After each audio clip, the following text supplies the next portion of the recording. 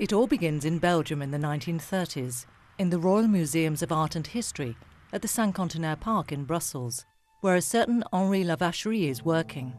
Easter Island and its mysterious statues fascinate him. His grandson Thomas delved into his grandfather's archive to reconstruct the story of what became the most famous study of Easter Island from the first half of the 20th century, known as the Franco Belgian expedition. A French scholar, Guillaume de Hevesy, had established a connection between writing found on Easter Island. I say writing, but that's really an overstatement. When in 1930 excavations were made in the Indus at Mohenjo-Daro, and on small alabaster seals they found writing quite similar to that found on wooden tablets on Easter Island.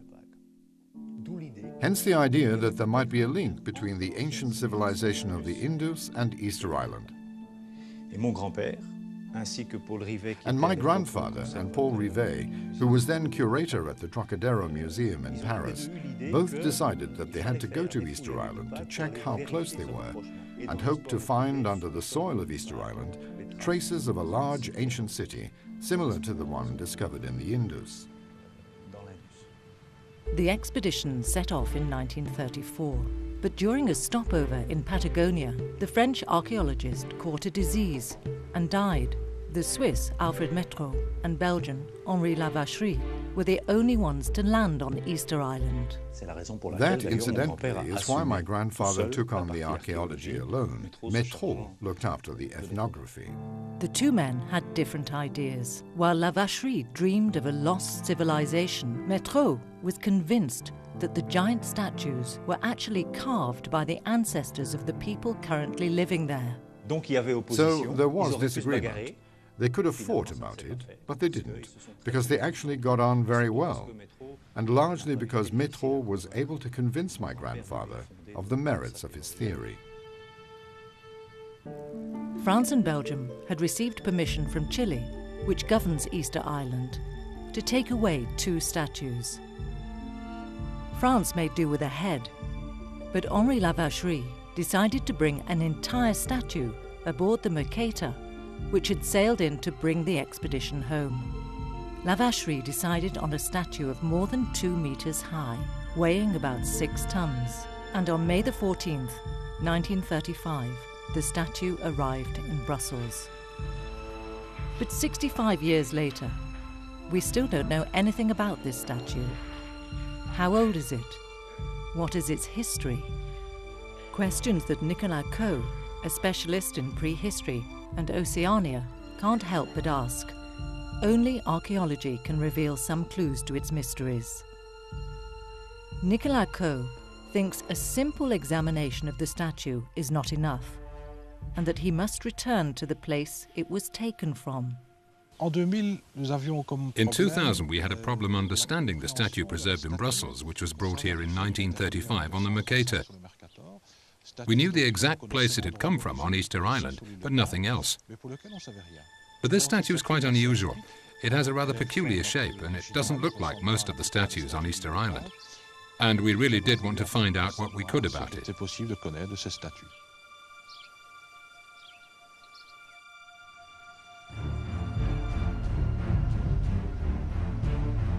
Seventy-five years after the Franco-Belgian expedition, the archaeologists are back in Rapa Nui, the Polynesian name for Easter Island. There's only one town, Hangaroa. Actually just a large village of 4,000 inhabitants, of which about half come from Easter Island. For these people, discovered in 1722 by a Dutch sailor, the arrival of Europeans was a real curse, especially in the second half of the 19th century.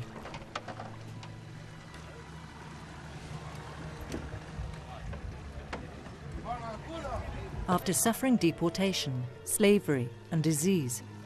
By 1877, there were only 111 natives left, mainly children, so the island's oral history was lost. In the early 20th century, the island was transformed into a giant sheep farm, and Easter Islanders were kept behind barbed wire in the village of Hangaroa. It was not until 1963 that residents were finally able to reclaim their destiny. Today, things have certainly changed. More than 50,000 visitors arrive every year to see the famous Moai, the legendary statues, reproduced in every form imaginable for tourists who are the island's main source of income. Tour guides speak of a catastrophe in the early 17th century, following the felling of all the trees on the island to move the statues. It would be followed by a famine, leading to war between clans and the violent destruction of the monuments. The few statues still left standing on great altar-like monuments, known as ahu in Polynesian, have actually been recently restored because by the mid-19th century, not one statue remained standing on its ahu. It's against this background that Belgian archaeologists start their initial search on a site close to Hangaroa. The statue in Brussels was removed from here at Orongo. It came from a small monument that we found during the excavation in 2001, now hidden because we covered it over again. But we've been able to show that the little pile of rocks behind me here is a monument which had been almost completely overshadowed by the subsequent construction of a very big monument, which is above here. And the statue which emerged from the ruins was taken away in 1935, put on a raft, and transported to the Mercator, which was anchored just offshore, about where that ship is today.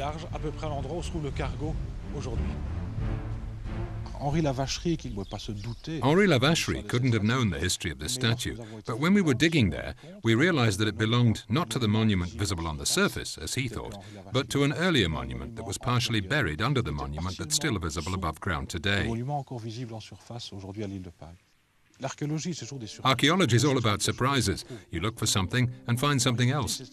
In reality, this statue comes with a monument that was completely covered by sediment, something that was hitherto unknown on Easter Island. We only knew about the monuments on the surface and thought that everything was on the surface. We had the impression that if you dig a bit, you very soon come to the lava, the bedrock, and so there was no hope of finding stratigraphic monuments. So we were lucky in 2000 2001 to chance upon a monument completely buried in the sediment, which is obviously an archaeologist's dream, since there's a sedimentary context, allowing us to do all the dating, reconstruction of the environment, and so on. This monument is now one of the oldest stratigraphic finds on Easter Island. And we've been able to date it because we found charcoal in the sediment. It's from the late 13th or 14th century. Given its size, its dimensions, it's two meters tall after all, it's not really certain to be the oldest statue, but it is the only one whose age we've been able to determine so far.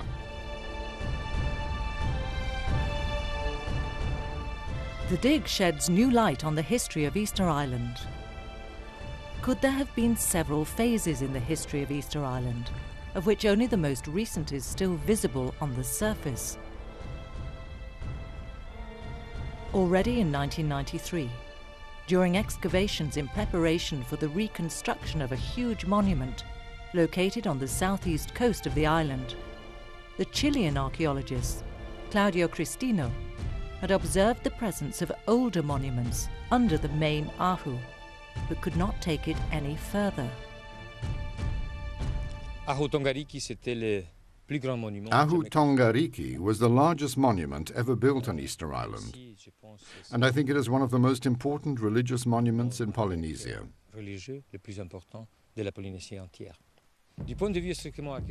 From a strictly archaeological viewpoint, the result shows us that this was a monument that has evolved over four or five centuries, which began with small monuments set next to each other and finally, this huge old structure was constructed on the two ancient Ahus. We have the dates of the first occupation, the first construction, around the 14th century, and we have no precise date for the last monument, but there's no doubt that it is from the 16th or 17th century.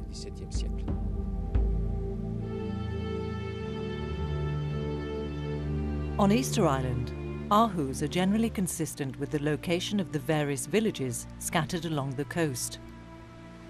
But were practices the same from one village to another? from one side of the island to the other. Until now, there was no way of knowing.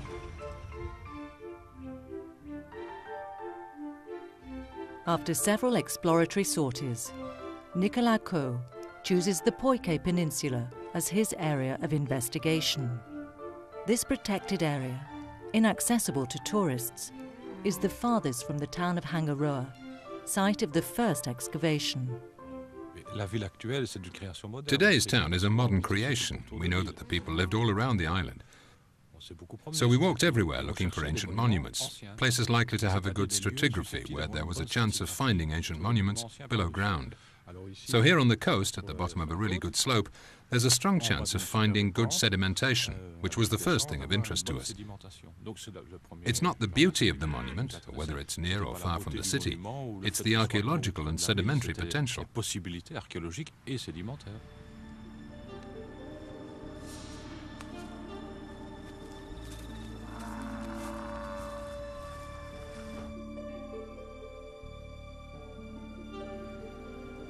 The monument is in ruins because it's up against a cliff, and there is a quite natural collapse of the rear facade.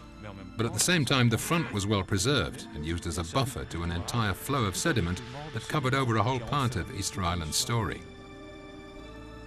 That story is one of the successive construction of three monuments, definite sequences interspersed with periods of abandonment and reconstruction, as if different generations of villagers successively used, then abandoned this place.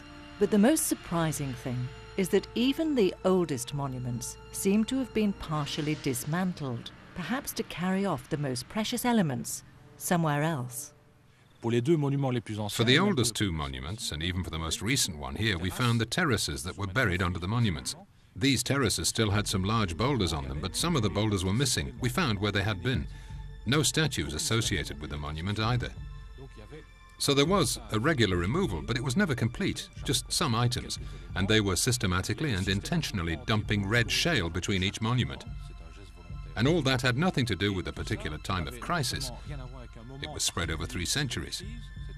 And what's more, it shows no sign of corresponding to acts of violence.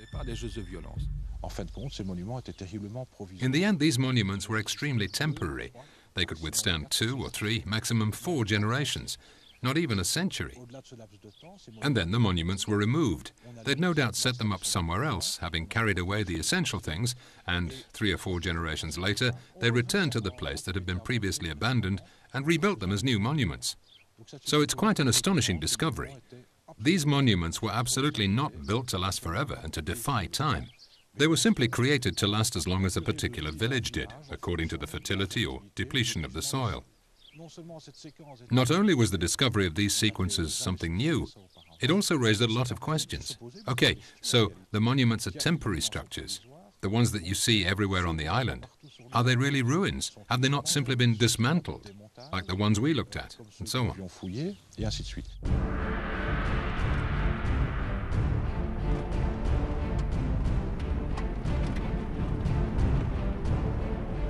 Year after year, Nicolas Cauwe's team continues its research. It now has evidence that the monuments and statues were regularly dismantled and moved. But what about the Ahus whose statues appear to have been violently pushed over? In an attempt to understand the fate of these giants, the archaeological team begins a new search. We've just started to investigate the Ahu Teniu monument. Niu means coconut tree. It lies on the west coast, north of Hangaroa. So we began an exploration of the monument because it offered a double advantage. It was in a place where we could expect good sedimentation for the early phases, since it's at the bottom of a slope that was used as a market garden, so we'd probably have good sedimentation that's engulfed the ruins. And then too, what was visible on the surface was several statues in quite different situations.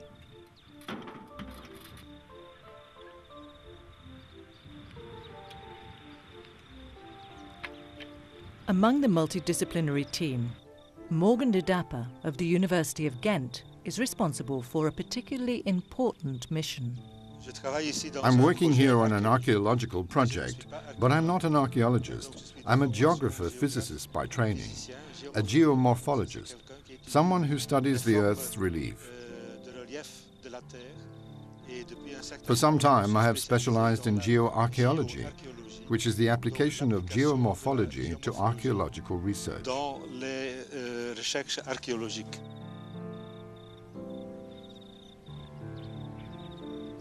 Geomorphology is a very interesting science because it will not only explain the conditions of the burial, but all the processes, all the dynamics that created the landfill. That might be natural runoffs, digging of valleys, quarrying rock, and so on, and all the anthropogenic processes too.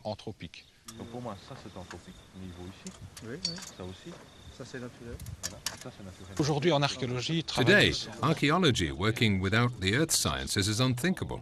To really understand in detail all the conditions of buried remains.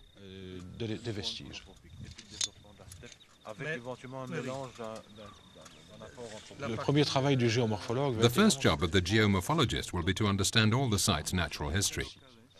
So that's why he'll need to descend to the bedrock, where we see the beginning of the decomposition of rocks, to try to understand a natural sequence and investigate it.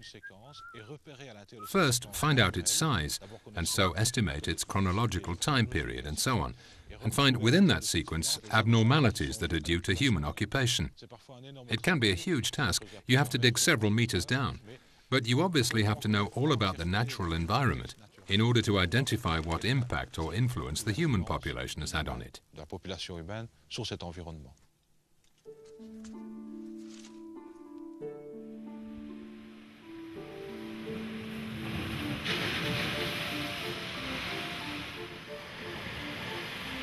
Geomorphology also gives an idea of the ancient history of the island, of which some 170 square kilometres are entirely of volcanic origin. On the surface, there are no rivers because the rock is too porous, but some craters are huge reservoirs of fresh water.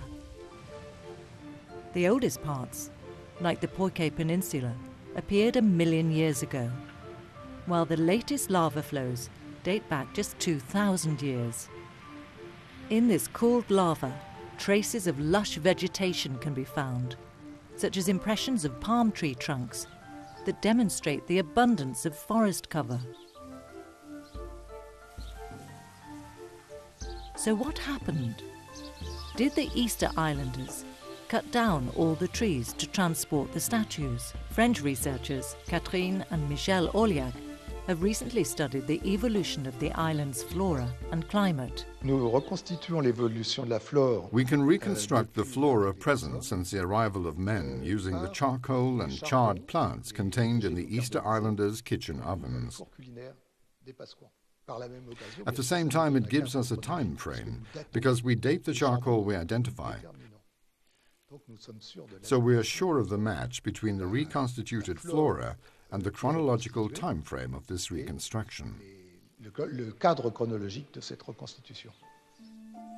For Michel Orliac, destruction of the forest caused solely by human action seems unlikely, contrary to what we are usually told.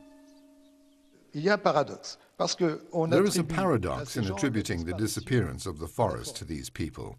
It would be quite surprising on the part of sailors, and even more surprising on the part of the most extraordinary sailors the world has ever seen, because it was they who transported their society further than any others. A boat, a Polynesian boat, is something you maintain. And this presupposes managing and maintaining a stock of wood and trees large enough to make planking for big boats.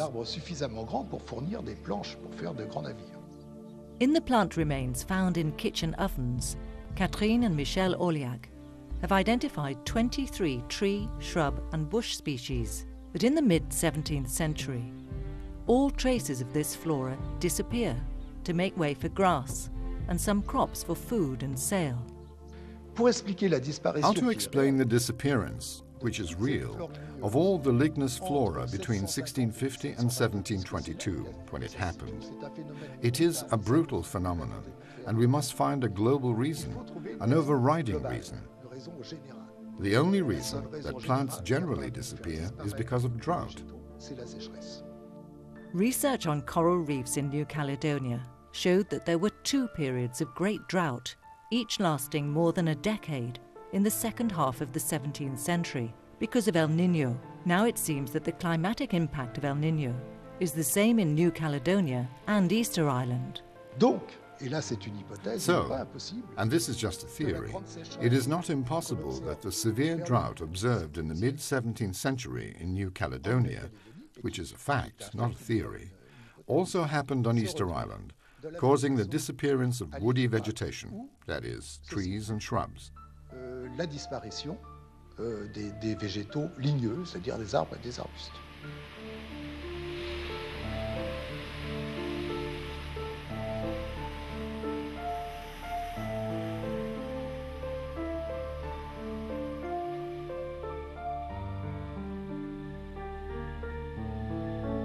To the southeast of the island, the Rano Raraku volcano dominates the landscape. It's from this magical place, now frequented by wild horses, that most of the giant statues that dot the island came.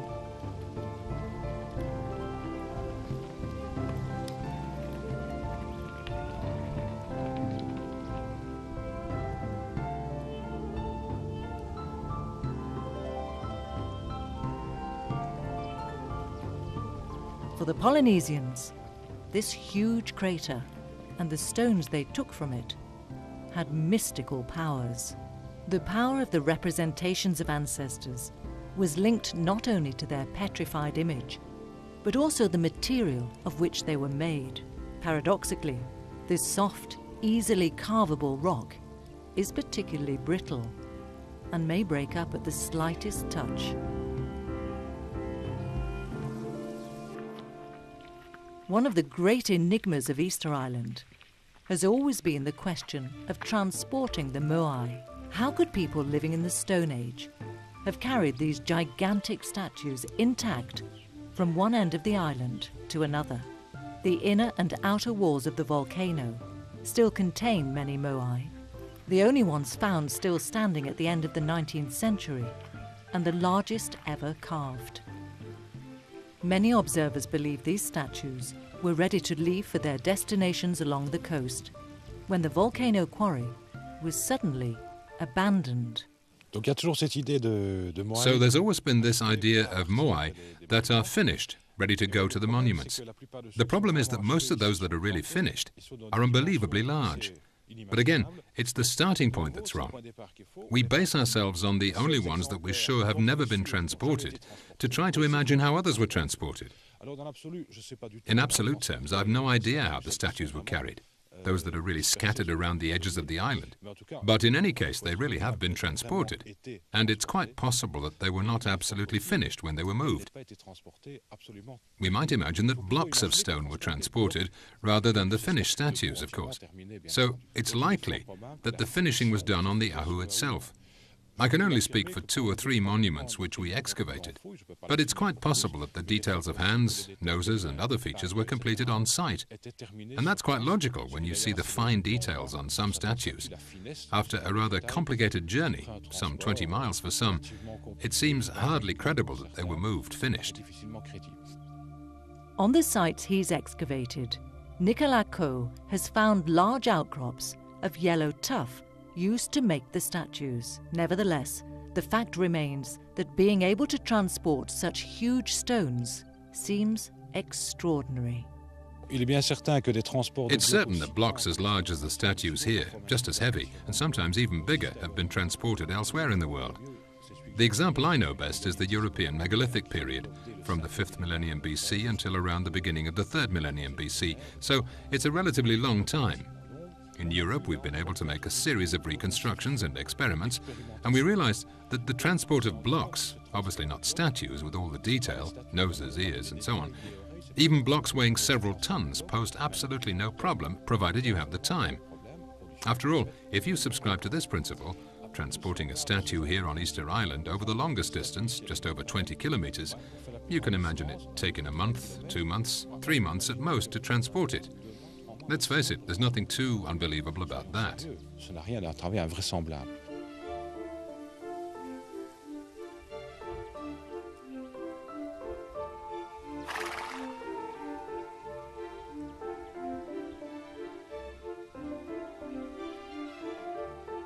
According to legends recorded in the early 20th century, the disappearance of the forest would have led to a terrible famine, causing a brutal war for survival. This would be the famine that was behind the decline of Easter Island culture and the destruction of the Moai.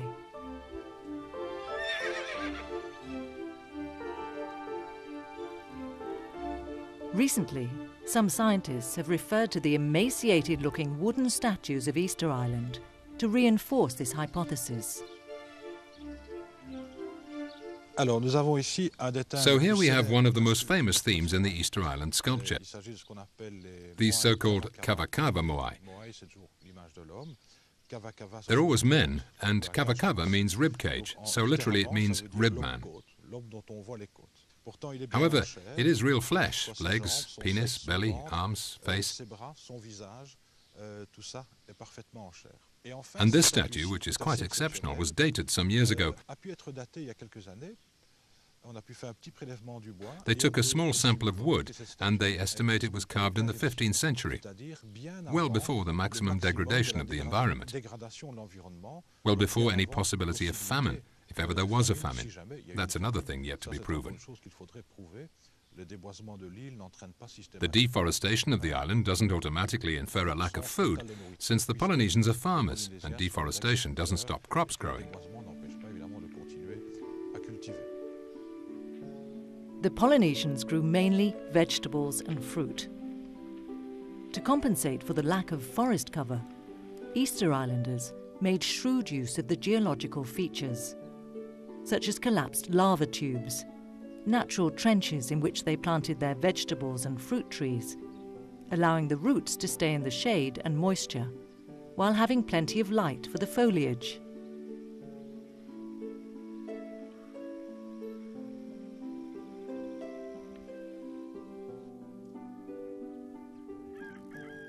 They also kept chickens, which they brought with them in their huge canoes they developed dozens of acres of fields with porous volcanic stone for protection.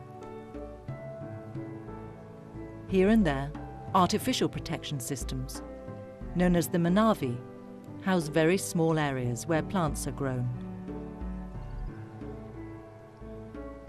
Despite the absence of forest, the islanders had an abundant and perfectly balanced diet as the first European sailors who came to the island for supplies bore witness.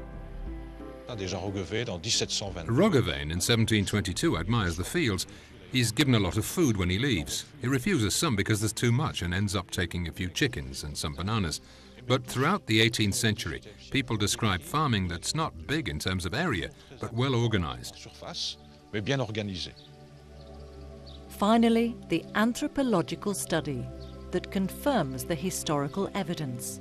The analysis of samples of bones found on Easter Island would reveal any stress caused by malnutrition. Since 2004, more than 150 individuals have been studied by anthropologist Caroline Polet. From the samples I studied, which date mainly from the 17th to the 19th centuries, I can conclude that there has apparently been no really serious bout of starvation on Easter Island. There are no frequent major stress markers. In fact, the frequencies are comparable to those found in other Pacific islands. And so there was apparently no more stress between the 17th and the 19th centuries on Easter Island than elsewhere in the Pacific.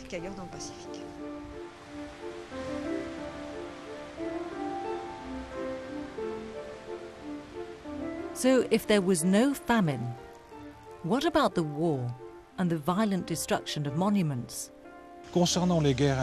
Regarding the intertribal wars that supposedly destroyed all the Easter Island monuments, there are two problems. The islanders were brutally uprooted from their past, and their memory is a reconstruction. It's their own interpretation of the remains. The second is that the monuments really look ruined and destroyed. But when you look closely, they're actually organized. It's systematic, organized dismantling. So the question is not about whether they fought or not. It's why they dismantled their monuments. ils ont démonté, les Pasquans ont démonté un jour leur monument. In some Ahu, the statues appear to have been purposely concealed under huge piles of stones. On a le mur du monument. This is the monument wall, and here the boulders of the old terrace on which the monument was placed, going up to here. We have the corner there at the end, and then we have a huge ramp built later that dominates it all, in which we'll see that a number of statues were concealed. Et de chapeaux de statues ont été enfermés. The statues were clearly buried on purpose because it's a colossal job to gather these stones. And it's fairly well built, so it really seals up this monument. Donc c'est vraiment un énorme empierrement qui clôture, qui ferme définitivement euh, ce monument. C'est pas un phénomène unique au monde. Il y a d'autres sociétés. Euh, this is not a unique phenomenon in the world. There are other societies. The megaliths in Europe between the 5th and 3rd millennium BC also had so-called dolmens, which are actually tombs, and they also decided at one point to shut them away. They were either covered with slabs, piles of stones, or huge mounds of earth that took forever to build, of course. It's maybe not the same thing here, but it's comparable as a process. There's a monument that served the community, and at a certain point it was dispensed with using all sorts of processes that are relatively slow to implement. Our problem now is to continue the excavations to try to show specifically how the statues were permanently buried.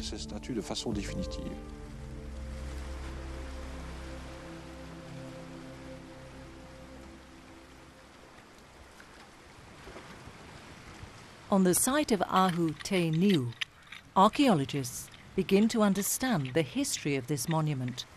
A recumbent statue has been found buried under a pile of stones. Voilà. Alors, Serge, euh, la grosse couche de Aniani Oui, la, la poche de Aniani et en fait au-dessus du bêta 2, oui, ça je vais d'entendre une petite, une petite épaisseur là où c'est épais pour la couche de construction ouais. sur lequel vient le Aniani. Donc on peut faire d'abord euh, seulement 2-3 points sur la couche de construction. Juste là, c'est parce qu'après, elle est vraiment déposée sur le, le bêta 2. This site has a fairly long history. There was an initial occupation marked by the scorched earth here. We found traces of post holes whose significance we don't yet know, but a first monument was built here. This monument was then used as the foundation for a later one, which was dressed with beautiful old slabs. avec de très belles dalles euh, pour faire un, un monument euh, plus moderne.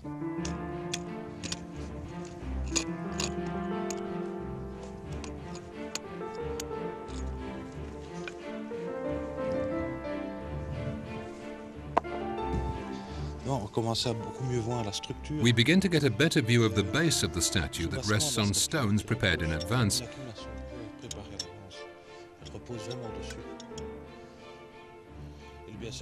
It's certain that this stone was set first, then the statue, because there's a wedge between the two. Because before cutting down the statue, they didn't know exactly how high it would be. So there's a small wedge.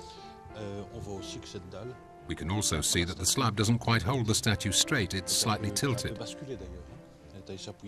But we see that all these stones were there before the statue.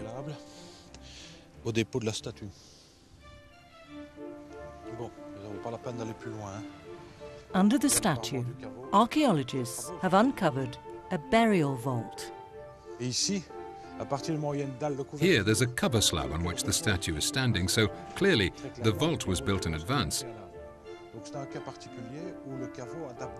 So this is a special case where apparently the tomb was built first and then the statue placed on top. Gradually, Nicolas Cauwe's team begins to understand the different phases of this monument.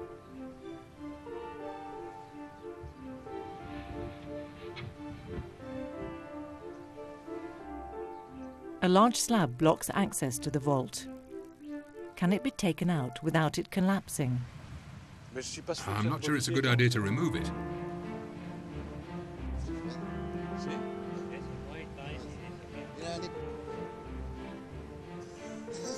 Oh, he's already removed it.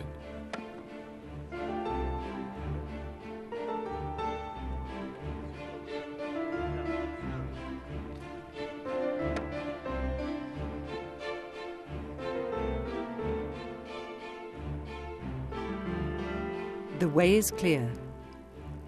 Archaeologists can continue working underneath the statue.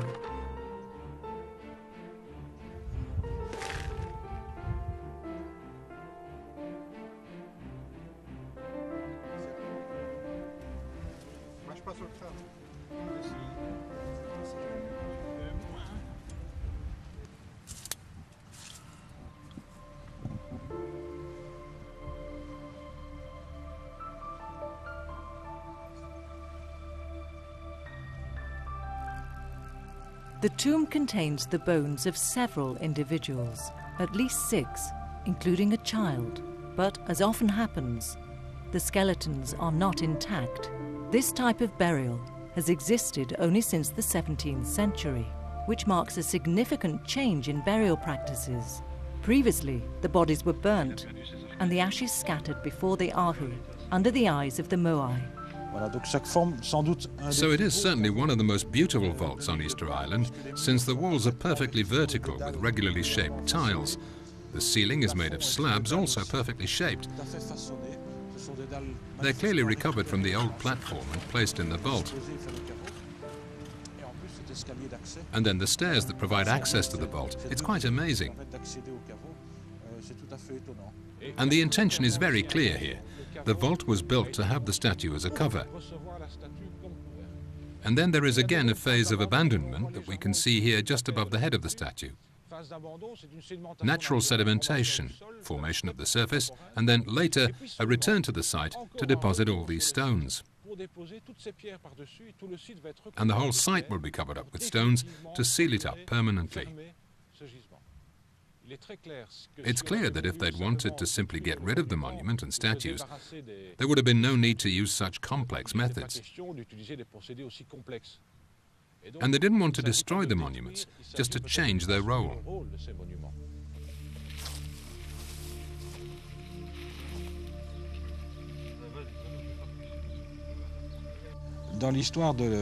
In the story of the hypothetical collapse of civilization on Easter Island, where the monuments were torn down, there's also the whole issue of the Rano Raraku volcano quarry, where we find dozens of statues still there, planted in the ground, but also a large number of half-finished ones.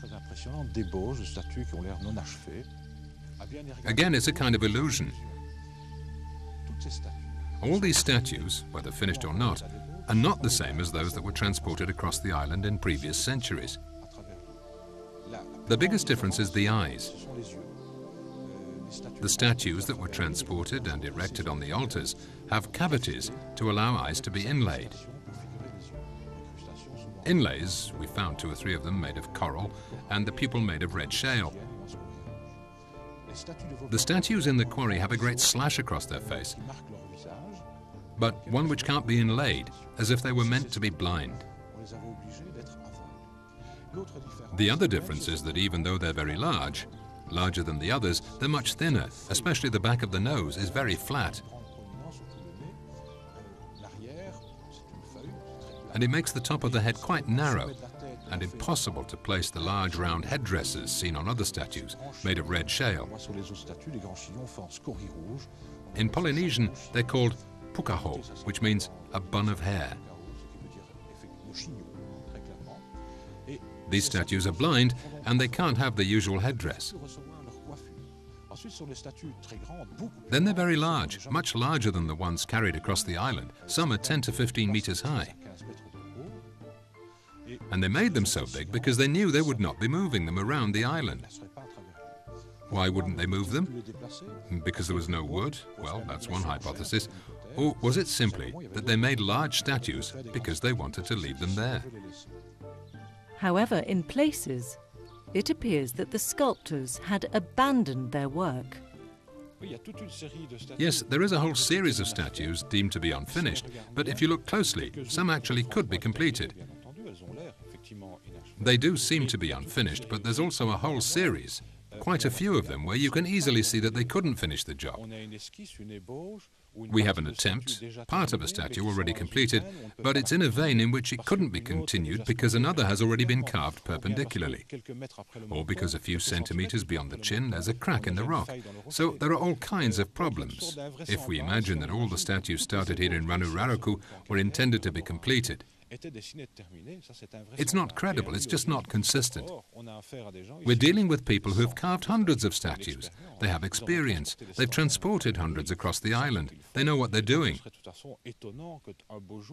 And so it would be surprising that one day they begin to carve statues knowing it's not possible to finish them or extract them.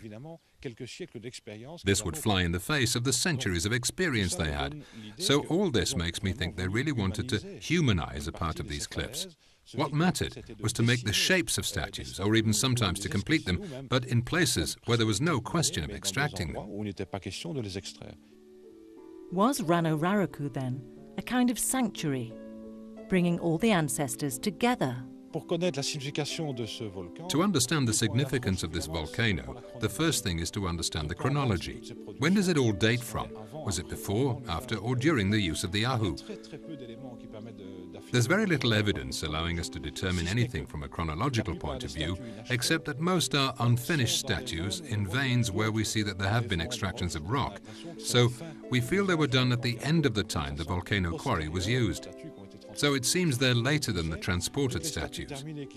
What's more, all the finished statues are planted just outside the volcano, preventing new statues being brought down. They're a barrier. If you try to get a statue down the cliff, you'll bump into all the statues that are planted in the ground below. So it seems they were in a terminal phase. And there's a last little clue. There's a statue down here which is engraved with a boat, clearly a three-masted western vessel. And this boat was only revealed after the removal of sediment that covered it. It means that this is something fairly recent because a buried statue already bore the image of a boat the islanders could only have discovered in the 18th century.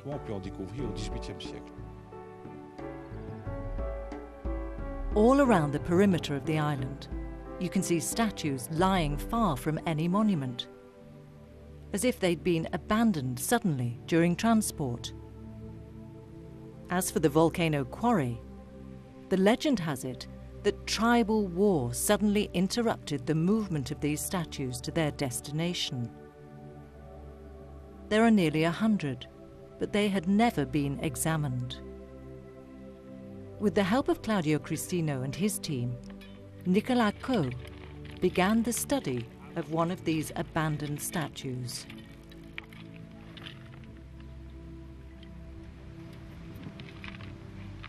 And they were in for a surprise they discover a pit used to erect the statue dug into the basalt rock. So it was already at its intended destination. It was embedded in the pit and has subsequently been deliberately laid down, like the moai on the Ahu. It appears that all the statues outside Rano Raraku have been carefully laid down in front of their plinths. Could we then speak of a change in tradition or a new religious cult? The hypothesis is particularly interesting because at the end of the Easter Island story, from the 17th century on, the cult of Makemake appears.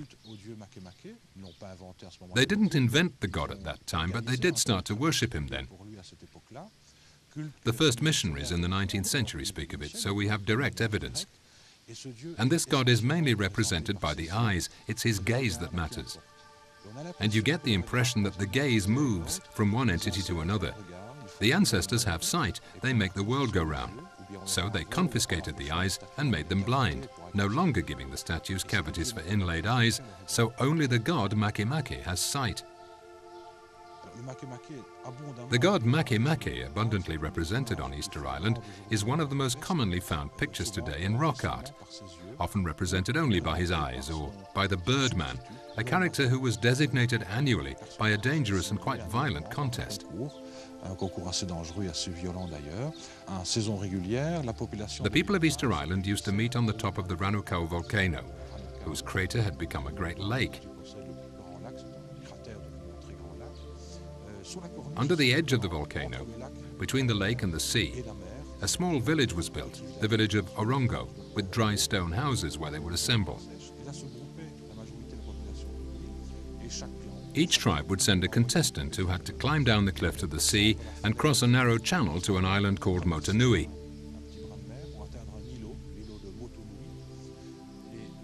And the contestants would wait here for the migratory birds to arrive. The one who found the first egg of the year and brought it back to Orongo, back across the inlet and up the cliff, was the winner.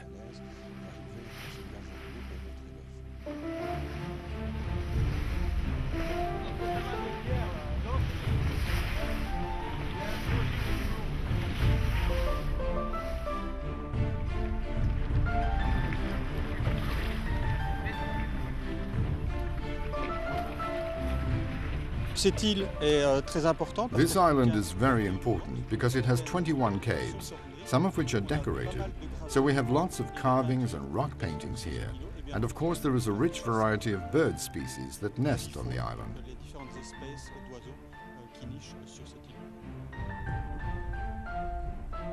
The man who managed to bring back the first egg was named Birdman for a year.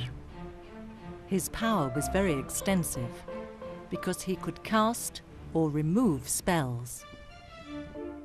This power, conferred again with each new competition, was received from the god Makemake, whom he represented.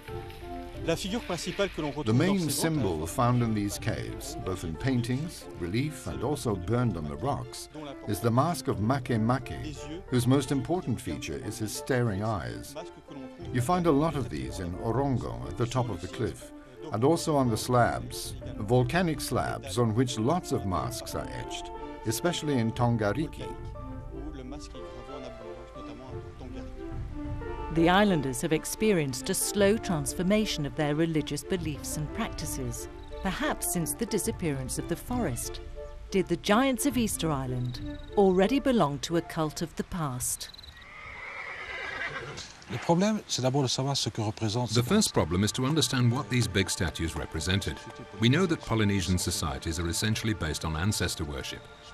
Gods created the world, they created men and the world order, but global governance is entrusted to the ancestors, and consequently, Polynesian societies need their ancestors in order to function. This results in highly fragmented societies, since the ancestors work on behalf of their own lineage, their descendants, of course, and this results in family clans who work for themselves. At that time, large statues were transported across the island, mounted on the altars and shrines that largely correspond to the location of villages. So there's very, very little doubt that these statues are really not the ancestors themselves, but a sort of representation of the ancestors into which they could bring the ancestors' spirit when they needed to talk with them.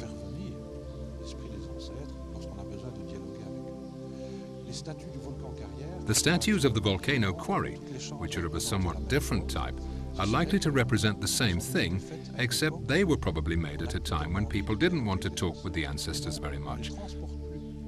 And so they no longer carried them to the place where the ancestors lived, they're all collected in this volcano quarry a bit like the Christians did with the saints. The saints are super dead, who don't belong to their descendants, they belong to everyone. And perhaps the ancestors imprisoned in the volcano quarry may be this kind of super dead who can't act, or at least no longer belong to a particular lineage. They're more generalized, and therefore can globalize the politico-religious and social life on Easter Island. When you visit Easter Island, you see all these statues nicely arranged parallel to each other in front of their stone plinths, but they're no longer standing on their monument. They're lying face down in the earth. But on several monuments, not only have they been toppled, but an enormous pile of stones has buried them.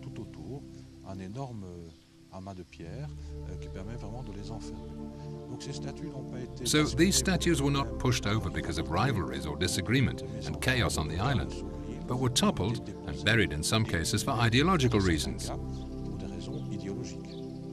The ancestors were probably no longer very popular. They'd become something of a burden. The world order had to change, so the ancestors were disposed of. So it seems that at one point the ancestors were simply replaced by the gods.